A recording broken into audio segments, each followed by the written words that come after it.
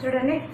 వేడి వేడి అన్నంలోకి అప్పడాలు పెట్టుకొని ఏ మజ్జిగ మిరపకాయలు మజ్జిగ మిరపకాయలు పెట్టుకొని ఈ పప్పు వేసుకుంటే తింటుంటే ఎంత కమ్మగా ఉంటుందో. చాలా చాలా బాగుంటుంది. ఒకసారి ట్రై చేయండి ఈ పప్పును. మజ్జిగ ఇంకింతకన్నా ఏం అవసరం ఉంటుంది చెప్పండి. ఈ లాక్డౌన్లో ఇప్పుడుండే పరిస్థితుల బట్టి మనకు అప్పడాలు తర్వాత పప్పు ఎండు ఈ మజ్జిగ మిరపకాయలు. వీటితో తింటే చాలా అండి ఇంతకు మించి నాకైతే ఏం అవసరం ఉండదు అనిపిస్తుంది. చాలా బాగుంటుంది చాలా టేస్టీగా ఉంటుంది ఈ పప్పు. సింపుల్ వేరే వాళ్ళు అడిగారండి అందువల్ల నేను చేశాను. ఎవరైనా అన్ని వచ్చిన వాళ్ళు పప్పు కూడా చూపియాలా అని అనుకోవద్దు. తెలియని వాళ్ళు బోల్డ్ మంది ఉన్నారు కొత్తగా పెళ్ళైన వాళ్ళు కానీ బ్యాచిలర్స్ కానీ లాక్డౌన్ వల్ల ఇంటికి రాలేక ఇరుక్కుపోయిన వాళ్ళు ఇలాంటి వాళ్ళు బోల్డ్ మంది ఉన్నారు. వాళ్ళ కోసమని నేను తెలియని వాళ్ళ కోసమని ట్రై చేసినాను. తెలిసిన వాళ్ళు తప్పుగా అనుకోవద్దు. Please welcome to Lakshmi grand kitchen ఈరోజు మనం కందిపప్పుతో టమాటా పప్పు ఎలా తయారు చేసుకోవాలో చూద్దాం. చూడండి నేను ఇక్కడ ఒక కప్పు కందిపప్పు తీసుకున్నాను. సింపుల్గా కొద్ది రోజులు కందిపప్పుతో ఏదైనా కూరగాయతో కానీ సింపుల్గా కూర చేసుకుందాం. ఇప్పుడు ఏంటంటే లాక్డౌన్ కూరగాయలు దొరకని పరిస్థితి. తర్వాత చాలామంది కంటైన్ జోన్లో ఉండిపోయినారు కదా రెడ్ జోన్లో వాళ్ళకనేది ఇప్పుడు మనం చెప్పే కూరగాయలు అలాంటివి కూడా దొరకవు కదా. ఎక్కువ శాతము బ్యాచిలర్స్ కొత్తగా పెళ్ళైన వాళ్ళు రెడ్ జోన్లో నిలబడిపోయారనమాట వాళ్ళకి ఇబ్బందిగా ఉందంట. సింపుల్గా చెప్పారా అని కొంతమంది అడిగారు. కూరలు ఏదైనా సరే కూరలు కానీ పప్పు కానీ సింపుల్గా చెప్పారా అని కూడా అడిగారు. ఇంకొక అతను వచ్చేసి రాయలసీమ పప్పు నాకు చాలా చాలా ఇష్టము. ఒకసారి చేసి చూపించారా అక్క అని అడిగారు. వాళ్ళ కోసం కూడా అనమాట ఈ పప్పు ఎలా తయారు చేసుకోవాలి. సింపుల్గా చాలా ఈజీ అండి. ఏం పెద్ద కష్టం ఏమి ఉండదు. ఇప్పుడు ఎలా తయారు చేసుకోవాలో చూద్దాం.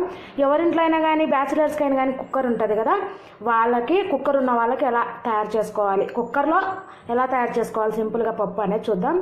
ఇప్పుడు వచ్చేసి నేను ఈ కప్పుతో ఒక కప్పు తీసుకున్నాను. కందిపప్పు. ఇది రెండు మూడు మాటలు శుభ్రంగా కడుక్కొని వస్తాను.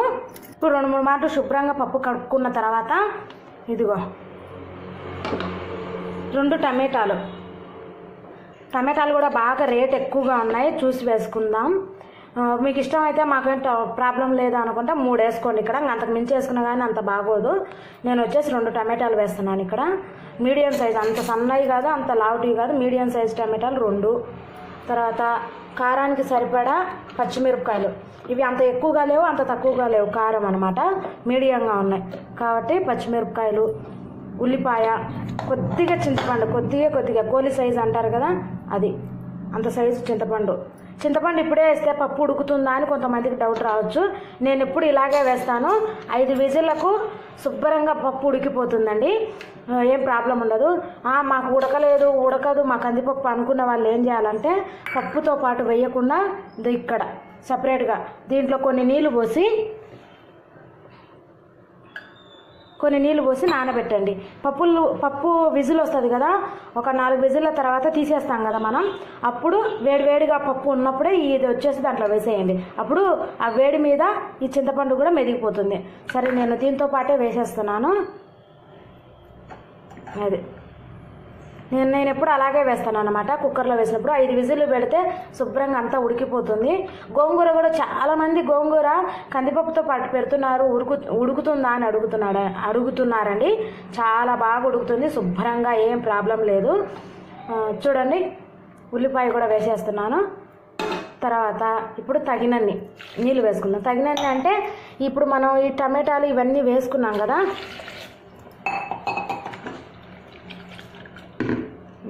చూడండి మునిగేదాకా.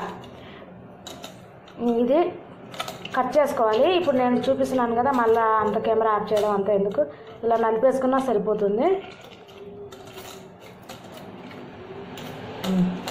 ఇప్పుడు ఇవి ఇలాగే కట్ చేయాలి అవి ఇలాగే చేయాలన్న రూల్ అయితే ఏముండదండి వేసాం కదా ఇప్పుడు దీంట్లో కొద్దిగా పసుపు వేద్దాం.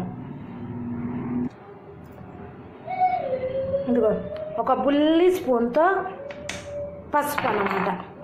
ఇప్పుడు దీన్ని స్టవ్ పైన పెట్టి స్టవ్ పైన పెట్టేసి ఒక ఐదు విజిల్లు రానిద్దాం.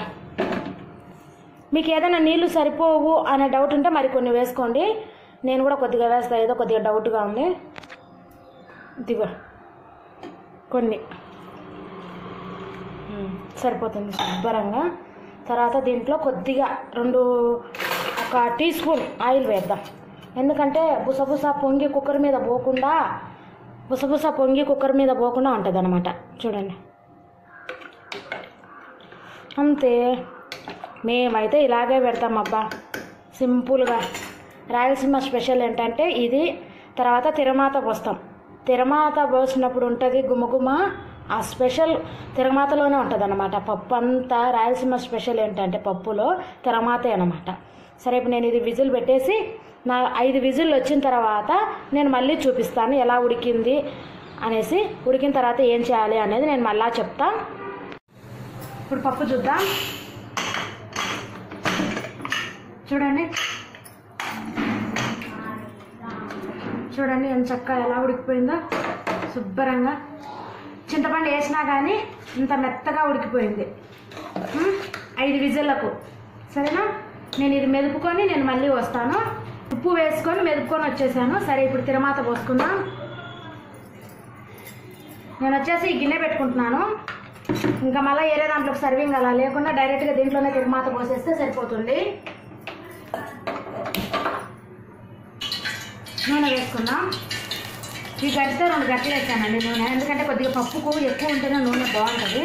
రాయలసీమ స్పెషల్ ఏంటంటే పప్పుకు తిరుగుమాతకు నూనె ఎక్కువ ఉండడమే అనమాట ఇప్పుడు తిరగమాత గింజలు ఆవాలు జీలకర్ర కరివేపాకు ఇవన్నీ కలిపి పెట్టింటాం కదా అవి వెల్లుల్లి చితగొట్టిన వెల్లుల్లి కొద్దిగా కొద్దిగా కొద్దిగా ధనియాలు ఇలాని వేద్దాం. ఇక్కడ ఏం చేయాలంటే రెండు మెంతు గింజలు ఉంటాయి కదా రెండు మెంతులు కూడా వేసుకోవచ్చు. నా దగ్గర మెంతులు లేవు మీ దగ్గర ఉంటే వేసుకోండి. రెండే రెండు గింజలు మళ్ళీ ఎక్కువ వేసుకోవచ్చు చేదు అవుతుంది తర్వాత ఎండుమిరపకాయ నేను ఒక రెండు మూడు ఎండుమిరపకాయలు ఎక్కువ వేసినాను. ఎందుకంటే నేను మధ్య మధ్యలో నంచుకుంటాను అనమాట ఎండుమిరపకాయ అంటే తిరుమాతలో వేగింది కదా టేస్ట్ బాగుంటుంది. టేస్ట్ బాగుంటుందని నేను నంచుకోవడం కోసం ఒక రెండు ఎక్కువ వేసాను మీకు ఎక్కువ అనిపిస్తుంది అంటే ఒకటే వేసుకోండి. తర్వాత కరివేపాకు. కూరగాయలు ఏం దొరకట్లేదు బాగా ఇబ్బందిగా ఉంది. ఇంకా కొంచెం మాది రెడ్ జోన్లో లేదు. మా- మాకే ఇంత ఇబ్బందిగా ఉంటుంది. రెడ్ జోన్లో లేని వాళ్ళకి ఇంకా రెడ్ జోన్లో ఉన్న వాళ్ళకి వాళ్ళకి ఎంత ఇబ్బందిగా ఉంటుందో. సరే ఇప్పుడు కరివేపాకు.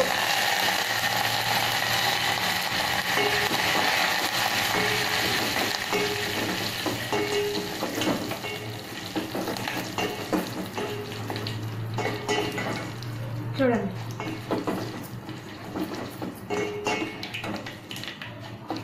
పోపు వేగింది.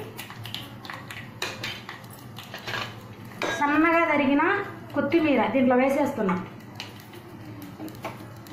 ఇప్పుడు పప్పు. ఒక్క నిమిషం పాటు అలా పెట్టేస్తే స్మెల్ పోకుండా ఉంటుంది కలిపేద్దాం.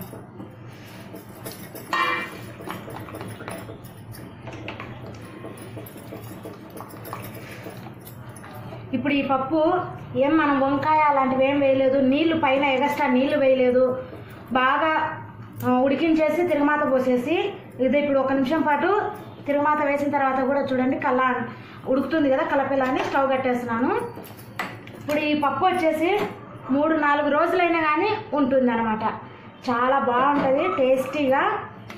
ఇప్పుడు చాలా చాలా బాగుంటుందండి. అంతే. పప్పు రెడీ. నచ్చిందా? నచ్చితే లైక్ చేయండి షేర్ చేయండి సబ్స్క్రైబ్ చేయడం మాత్రం మర్చిపోవద్దు. ప్లీజ్ సబ్స్క్రైబ్ చేయండి.